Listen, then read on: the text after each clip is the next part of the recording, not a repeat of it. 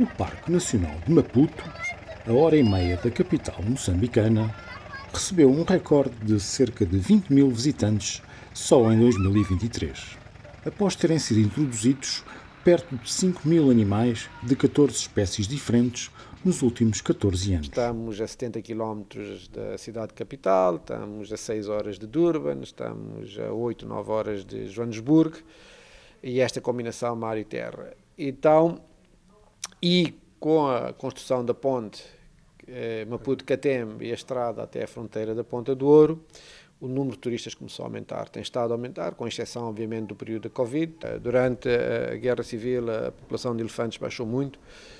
Pensamos que até pouco menos, se calhar, de 100 uh, eh, elefantes na altura mas a proteção que, que, pusemos, o esforço de fiscalização, a população de elefantes cresceu uh, naturalmente, ao ponto de que uh, em 2022, 2023, uh, translocámos para o Zinave um pouco mais de 40 elefantes. Eh, estamos na posição de ter excesso agora e poder doar para outras áreas de, de conservação. Porque os números estão a aumentar, eles começam a sair do parque para as zonas eh, de residência das comunidades, o que causa conflito.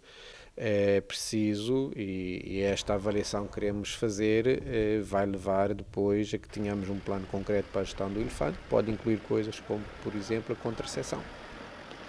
Além da crescente população de elefantes, outras são as espécies exemplares que se vão somando, entre herbívoros e carnívoros, sonhando agora os responsáveis com leões e rinocerontes no futuro.